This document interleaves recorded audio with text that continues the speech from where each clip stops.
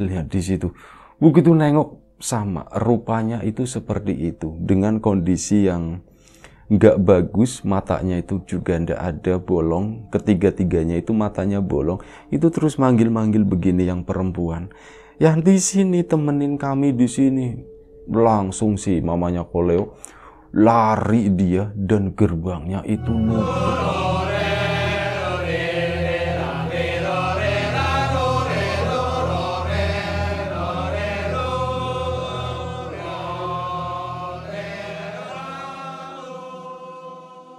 Cerita kali ini adalah cerita yang didapat secara tidak sengaja dan kebetulan kejadiannya itu masih di area Tegal, tepatnya di daerah Selawi, daerah kabupaten ya.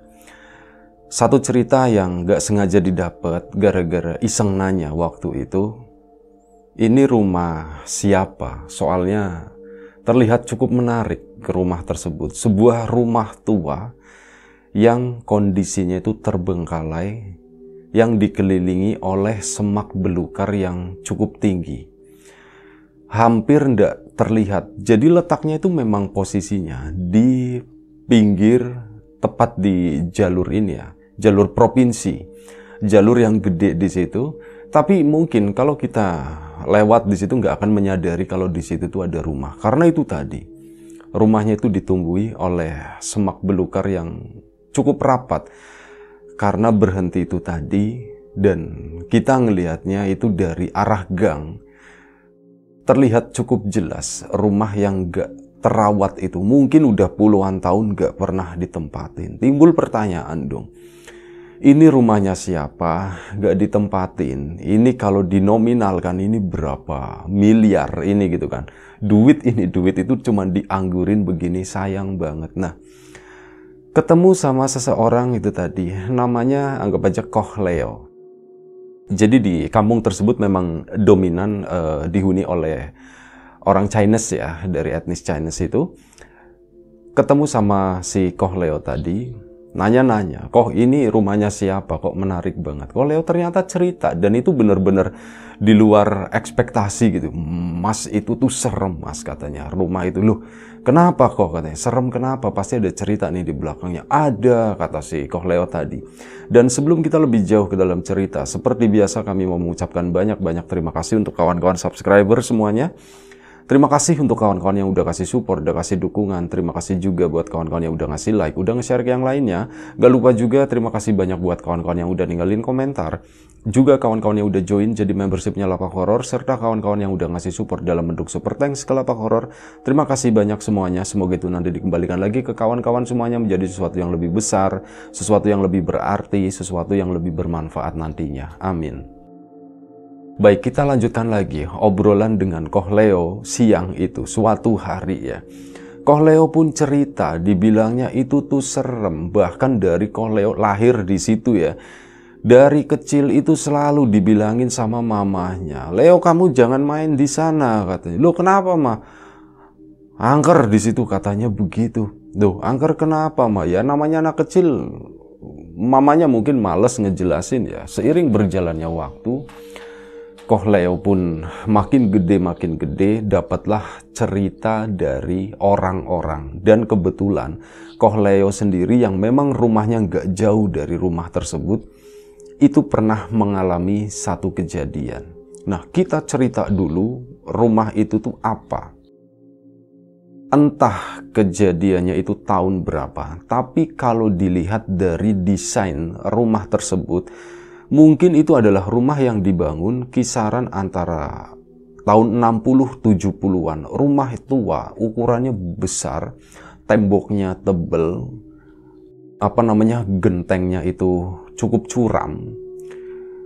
Dan mungkin ya, ini hanya uh, prediksi aja, itu mungkin rumah yang dibangun sekitar 60 atau 70-an tadi. Nah, di tahun tersebut, Koleo juga nggak ngerti tepatnya itu tahun berapa. Mesti nanya ke mamanya dulu kali. Mamanya itu mengalami uh, kejadian tersebut. Koleo waktu itu belum lahir. Nah, dulu itu hidup sebuah keluarga. Keluarga yang termasuk relatif masih muda waktu itu. Suami istri dengan dua orang anak. Anak pertama itu anak laki-laki, yang kedua itu anak perempuan masih kecil. Bahkan masih terlihat di situ itu ada ayunan dari besi. Kondisinya juga udah lapuk banget lah. Mungkin dulu ayunan besi itu sering dipakai sama anak-anak dari keluarga tersebut. Nah, entah di tahun berapa yang jelas Koleo itu belum lahir dia itu lahir sekitar tahun 87 mungkin ya bisa di tahun 70 atau 80-an kejadiannya. Ada sebuah tragedi yang menyelimuti rumah tersebut di mana waktu itu suatu hari rumah tersebut itu dijambangi gitu. Apa sih bahasa disambangi. Disambangi oleh sekelompok perampok dan waktu itu ya namanya dirampok gitu kan keluarga apalagi kepala keluarga sang bapak itu melawan termasuk ya orang tua lah suami istri itu melawan dan naasnya karena perampok itu lebih nekat karena perampok itu mungkin lebih siap untuk berantem dan jumlahnya itu juga lebih banyak akhirnya apa jumlahnya nggak tahu tepatnya tapi jumlahnya itu lebih dari satu orang yang jelas dibantailah keluarga tersebut, termasuk anak kecilnya juga dibantai semua. Oh, mohon maaf, anak kecilnya juga dibantai. Nah, tadi kan disebutkan bapak, ibu, sama dua orang anak. Anak laki-lakinya ini selamat. Gara-gara apa? Gara-gara nggak mengalami peristiwa tersebut.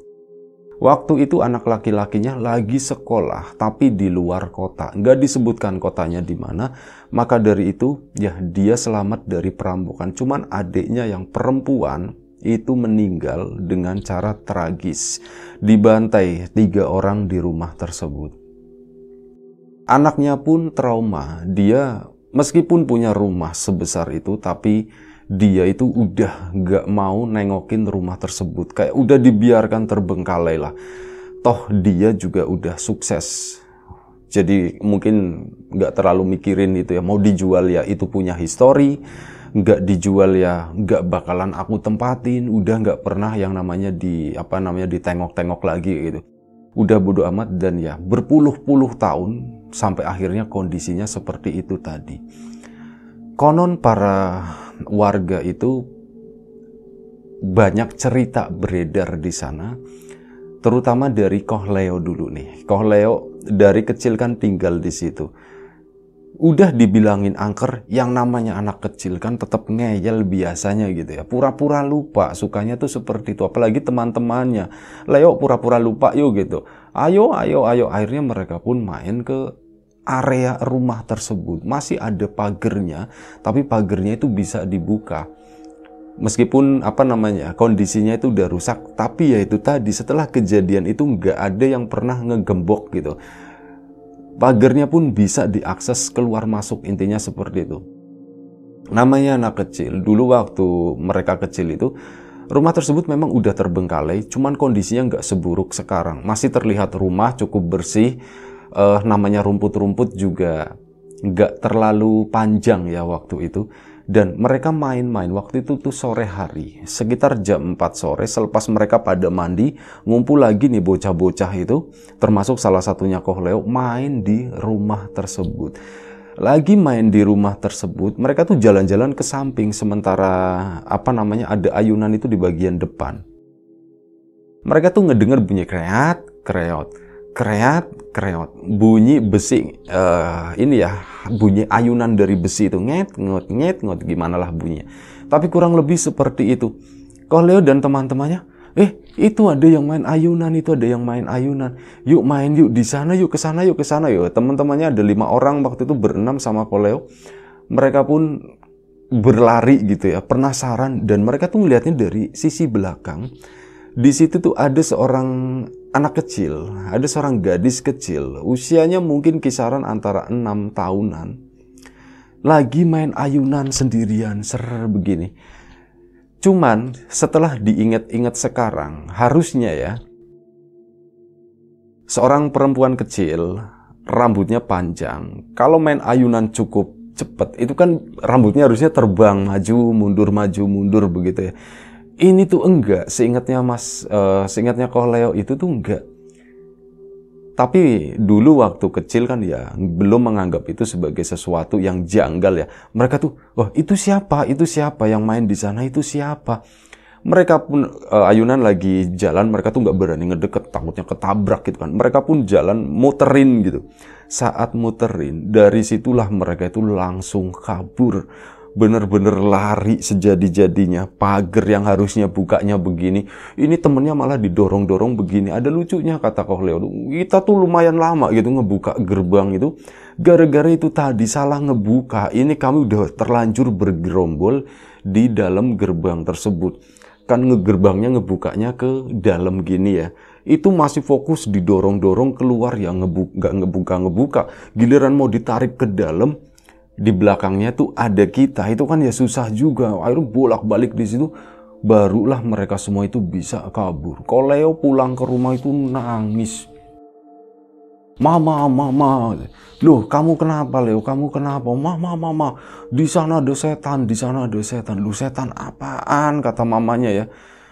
Ma, tadi kami main di sana. Siapa yang nyuruh main di sana? Kan udah tak bilangin jangan main di situ. Kata mau awas kamu tak di intinya diomelin sama mamanya Koleo waktu itu. Akhirnya dia pun cerita. Jadi waktu itu, sewaktu mereka ngedatengin ke sana, mereka tuh melihat seorang gadis ya dengan kondisi yang mengenaskan waktu itu.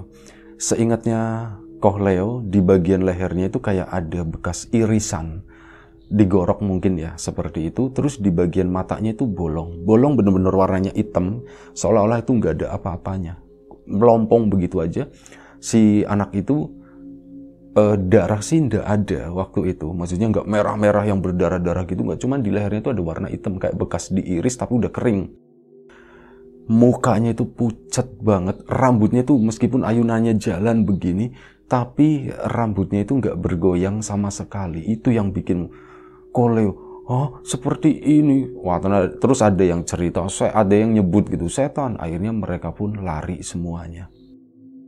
Itu pengalamannya Kohleo dan dia meyakini uh, sampai sekarang ya rumah itu tuh masih angker dan konon warga sana juga banyak yang bilang seperti itu. Kenapa? Banyak yang ngalamin juga. Ada beberapa bapak-bapak di situ ini pedagang ya, bapak-bapak pedagang yang berdagang keliling dan waktu itu yang ngalamin itu malam hari. Ada pedagang bakso tapi baksonya itu naik motor. Bakso Malang mungkin biasanya tuh naik motor. Nah, gerobaknya kan kanan kiri di belakang gitu. Masuk ke sana ke area tersebut, rrr, ada yang nyetop di situ. Bakso. Wah, bakso langsung direm dong, cat berhenti nengok ke sana ke dalam rumah tersebut, seingatnya si tukang bakso, rumah itu ya terang, rumah normal seperti rumah pada umumnya. Kondisinya bersih, ada lampunya. Akhirnya si tukang bakso tadi pun berhenti di situ. Nah, gerbang itu ngebuka sendiri, glek glek glek glek glek glek glek. Mas, ke sini masuk ada seorang perempuan di sana, seorang Chinese juga, Chinese perempuan Akhirnya si tukang baksonya pun masuk ke sana dong, mendekat ke arah teras tersebut. Mas, uh, buatin tiga mangkok ya katanya. Siap kata si tukang baksonya tadi. Dibikinin tiga mangkok. Nah si perempuan tadi tuh uh, ke sana, masuk ke dalam. Ini mangkok udah selesai, terus si tukang baksonya tadi kan manggil, e, Bu, Enci gitu manggilnya. Enci, ini udah selesai, ini udah baksonya katanya begitu. Ditungguin kok cukup lama gitu. Enci, ini udah baksonya udah ini nanti keburu dingin. Nah, beberapa saat kemudian ada yang manggil dari belakang sana. Mas, lagi ngapain di situ mas? Sini ke sini, jangan di situ mas. Itu tuh rumah kosong mas, itu rumah suwung kata si warga di situ. Tukang baksonya kan nengok ke belakang sana kan. Mas sini cepetan, sini cepetan. Ini bingung dia, nah rumah suwung apaan orang? Enggak kok. Giliran dia nengok ke arah sana. Itu di depan situ, itu udah berdiri sebenarnya males juga ceritain cerita ini gitu. Soalnya kita menceritakan tentang seseorang yang pernah mengalami sebuah tragedi ya. Dan masalah ini kebenarannya benar atau enggaknya itu kita nggak tahu. Ya kita menceritakan apa yang diceritakan aja kayak gitulah dan bukan bermaksud untuk menceritakan tentang yang meninggal di sana gitu. Gak ada hubungannya kalau yang hamba percaya itu nggak ada hubungannya orang udah meninggal ya udah meninggal di sana siapa pun itu yang menyerupai itu adalah makhluk lain gitu. Jadi begitu sih ini nengokin ke sana, itu berdiri tiga sosok. Ada perempuan, ada laki-laki, ada sosok anak kecil di tengah perempuan. Itu dengan bentuk yang udah nggak jelas waktu itu. Matanya lagi-lagi itu bolong, cuman hitam gitu doang liatin beberapa detik mungkin si tukang bakso itu kalau bisa dihitung gitu katanya itu sekitar tiga detik ngeliatin memastikan ini bener ndak gitu apa yang aku lihat. Dan saat dia nengok ke kanan ke kiri itu semuanya udah berubah, udah banyak semak belukar. Rumahnya udah kotor, gelap. Akhirnya si tukang bakso itu pun lari kan, lari balik ke sana. Mas tolongin, tolongin. Sampean ngapain masuk ke situ, masuk ke situ. Akhirnya di sempat didudukin dulu di rumah warga sana. Motornya tuh masih ditinggalin di situ, baksonya tiga mangkok juga apa namanya udah dibikin ya cerita mas apa yang terjadi tadi aku di stop begini begini begini pesan tiga mangkok mas rumah itu tuh kosong mas. Udah lama udah puluhan tahun kosong. Nggak ada yang menghuni. Enggak aku tadi ngeliat begini begini begini. Ada seorang perempuan mas. Akhirnya diceritain dulu tuh sempat ada kejadian seperti ini. Nah akhirnya apa? Ditemenin sama warga ngambil itu tadi uh, basoknya ya. Dan aneh tuh begini, bakso itu tuh karena udah jadi kan. Nah, Mas e, ditaruh di apa ya kayak ada tatakan meja di situ di motornya. Mas ini sayang daripada ndak dimakan nanti kan ini udah tak bikin aku mau keliling lagi takutnya ya nggak kemakan mending dimakan aja mas kata si tukang bakso tadi. Warga itu menolak gara-gara mereka itu ngelihat kondisi baksonya itu udah ndak bagus kayak udah keluar jamur-jamur seperti itu. Mas ini baksonya udah begini mas. Dilihatin kan sama yang tukang loh kok jadi begini? Ya akhirnya apa? Ya terpaksa dibuang di sana dibuang di selokan waktu itu ya. Mas, eh, maaf ya tak buang di selokan ya ya ndak apa-apa ndak apa-apa gitu. Nggak apa-apa tak, jenengan tak gantiin katanya. Tak kasih gratis. Waktu itu emang ada tiga orang laki-laki semua. Itu dibikinin bakso ngobrol lagi lah si tukang bakso tersebut. Intinya kayak gitu nah bukan cuman itu doang. Ada satu pengalaman lagi. Dan ini yang mengalami itu mamanya Koh Leo. Mamanya Koh Leo lahir di situ oh sorry bukan bukan. Yang lahir di situ itu Leo. Mamanya bukan di sana tapi lahirnya tetap di Tegal ya. Kebetulan dia tuh pindah di sana udah cukup lama. Dari kecil tapi lahirnya nggak di situ tinggal di sana dari kecil waktu itu dia udah remaja belum menikah. Dan ya seperti biasalah namanya anak perempuan gitu kan kadang suka main ke tetangganya sama-sama perempuan juga waktu itu. Waktu itu masih sore mungkin sekitar jam setengah delapanan tahun 80-an sebelum Koh Leo itu lahir belum menikah sebelum menikah main ke salah satu temannya di sana pas malam-malam itu pulang tahu di situ rumah itu udah udah kosong udah sepi udah serem kondisinya tuh tahu begitu Begitu pulang ke sana, itu ada yang manggil. Yan, katanya. Yanti. Si mamanya kok Leo kan nengok ke sana. Itu siapa gitu, kok ada yang manggil-manggil. Bener-bener seketika itu dia itu lupa. Yanti sini, main ke sini. Mbak Yanti pun masuk ke situ. Gerbangnya dibuka seolah-olah itu bersih. Uh, sini ya, main di sini dulu ya Iya tapi ada apa aku mau pulang kata Mbak Yanti. Bener-bener lupa dia tuh dibikin lupa seperti itu. Sebentar di sini nemenin sebentar. Ya sudah jangan lama-lama. Bahkan apa Mbak Yanti pun tidak kenal ini tuh siapa gitu. Yang dia tahu itu oh ini salah satu tetangga gitu. Cuman kepikirannya tuh kayak gitu doang. Akhirnya mamanya kok Leo pun uh, duduk di situ duduk di teras cuman begini bengong gitu ya ini kok nggak keluar keluar aku disuruh di sini tuh disuruh ngapain mirip kayak yang tukang bakso tadi cuma kalau yang tukang bakso itu kan uh, pesan bakso kalau ini cuma disuruh duduk doang di situ celingak, celinguk, celingak, celinguk, dipikir-pikir gitu ya. Akhirnya mamanya Koleo itu nyadar, loh, loh, loh, ini kan rumah yang dipastiin gitu ya, nengok kanan kiri, ini kan rumah yang angker itu, baru nyadar mamanya Koleo. Saat nyadar dia bangun dan dia itu nggak nengok-nengok baru jalan beberapa langkah ke depan dipanggil Yanti mau ke mana saat manggil Yanti mau ke mana, si mamanya Koleo kan nengok ya, nengok yang manggil itu siapa itu refleks begitu aja. Begitu nengok ternyata uh, mereka bertiga, sosok bertiga itu ada. Jadi posisinya Mbak Yanti misal duduk di apa namanya di bagian terasnya itu kan ada tangga, tangga beberapa anak tangga gitu duduk di situ di tangga tersebut seolah-olah mereka itu kayak suami istrinya di kanan kiri yang di bagian belakangnya si mamanya Koleo itu adalah si anak kecilnya di situ. Begitu nengok sama rupanya itu seperti itu. Dengan kondisi yang nggak bagus matanya itu juga ndak ada bolong ketiga-tiganya itu matanya bolong. Itu terus manggil-manggil begini yang perempuan. Yang di sini temenin kami di sini langsung si mamanya Koleo lari dia dan gerbangnya itu nutup. Gak tahu gerbang itu nutup dengan sendirinya atau gimana. Dia tuh kesusahan buat ngebuka karena besi itu udah lapuk juga. Akhirnya teriak-teriak kan, tolong, tolong, tolong, tolong. Warga situ tuh pada datang semuanya. Lu, kamu ngapain masuk ke sini? Kamu ngapain masuk ke sini? Oh, aku udah tahu ceritanya panjang. Akhirnya ditolongin akhirnya pulang ke rumah. Ya makanya setelah menikah itu tadi Koh Leo pun dikasih tahu kamu jangan main di sana ya karena di sana itu angker. Ya dengan alasan itu tadi.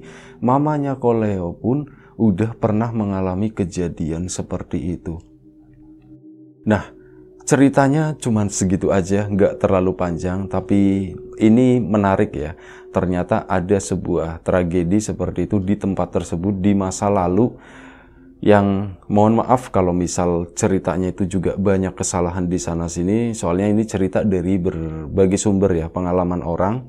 Tapi kurang lebih kejadiannya itu seperti itu. Ya, doa terbaik buat mereka yang mengalami tragedi tersebut semoga tenang di alam sana sama ya mungkin keluarga yang ditinggalkan itu satu anak yang sekarang konon katanya udah sukses itu udah nggak pernah pulang lagi ke sana. Udah nggak pernah nengokin rumah tersebut. Nggak tahu statusnya sekarang gimana. Ya intinya rumah tersebut itu masih terbengkalai sampai sekarang. Masih berdiri dengan itu tadi perhiasan di kanan kirinya itu semak belukar yang cukup rapat. Kalau uh, perjalanan dari Tegal menuju ke Purwokerto, arah jalur situ kemungkinan bisa melihat gitu ya. Tapi mohon maaf, lokasi detailnya itu nggak usah disebutkan. Itu aja satu cerita dari Koh Leo. Kurang lebihnya mohon maaf Koh Leo uh, siapa pun itu yang tahu lokasi rumah ini nggak usah disebutkan ya. Ini untuk privasi, untuk menjaga keluarga juga. Kita hanya sekedar menceritakan uh, kalau di sana itu pernah terjadi sesuatu gitu, sesuatu yang ya mungkin siapa tahu kita bisa mengambil pelajaran dari situ. Baik, itu aja. Terima kasih kawan-kawan semuanya. Sehat selalu. Semoga dimudahkan segala sesuatunya, termasuk kemudahan dalam hal rizki. Yang sakit segera diberi kesembuhan, yang sehat tetap dijaga kesehatannya. Sampai jumpa di episode selanjutnya. Lapak horor, jaga kesehatan kawan-kawan semuanya. Assalamualaikum warahmatullahi wabarakatuh.